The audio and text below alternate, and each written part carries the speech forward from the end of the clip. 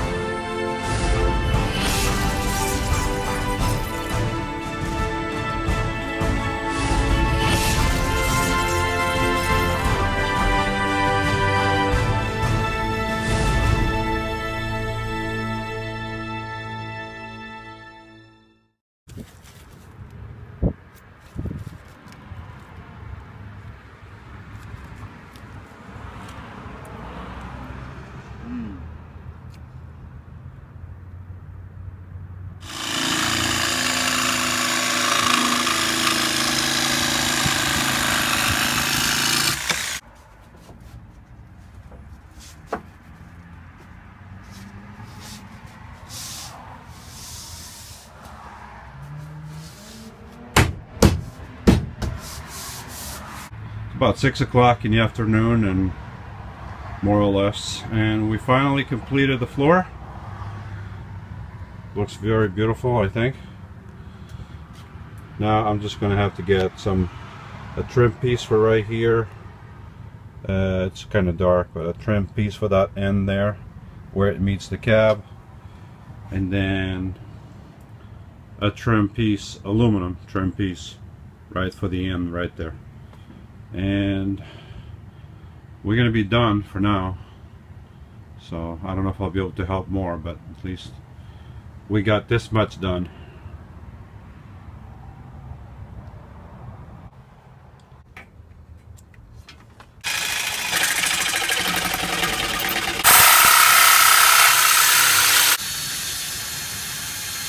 This is a threshold from the uh, cab area to the back this is the step for the side door with a nice aluminum piece there. And then I put another one in the back right there. I think it looks really nice. Now this floor is acting as one piece.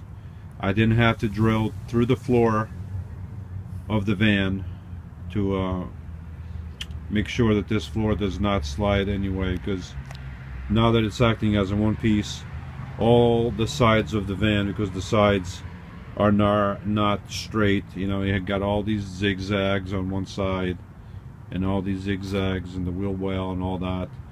All all those things will keep this floor from sliding back and forth. And uh, since we have the floor right against the walls it's not um, going anywhere. Staying here for good.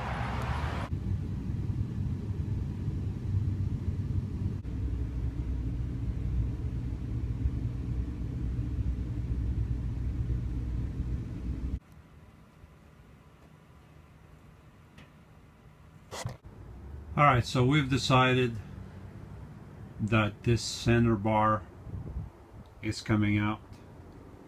And so is that one going across there.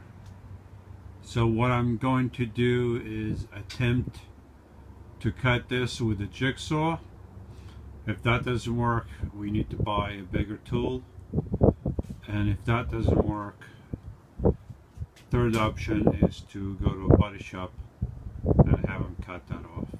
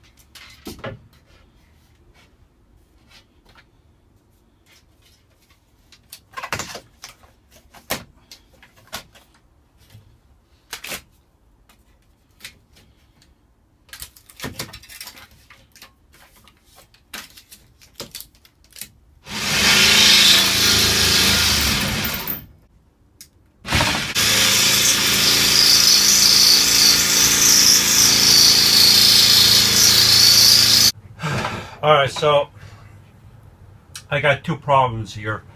Uh, problem number one is that uh, my blade is too short to go all the way across the metal.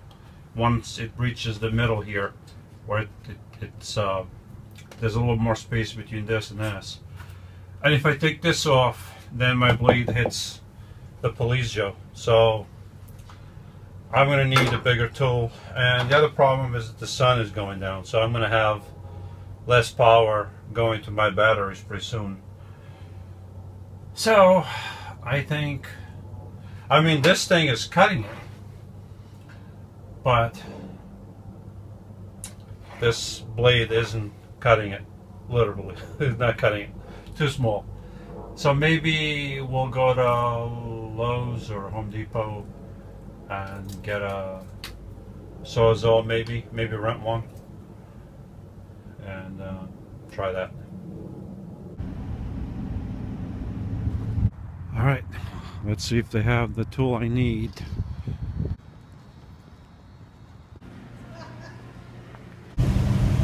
Yep, so last night I just um, run out of time to rent a generator and a, and a sawzall because that's what I'm going to need cut those those metal bars. My jigsaw just wouldn't do it and I was looking at sawzalls, even the Ryobi sawzall that's um, battery powered by an 18 volt battery. It was just too much money. We didn't really need that. Uh, and it was not just the Sawzall that was expensive, which by itself it was not that expensive. It was only 50 some dollars, I think. But then you have the battery and the battery charges and all that. So everything adds up and I ended up not getting it. So we are going to rent a generator for a couple hours and um, and the Sawzall which will be much cheaper than buying a Sawzall battery and charger and all that. So that's the plan for today.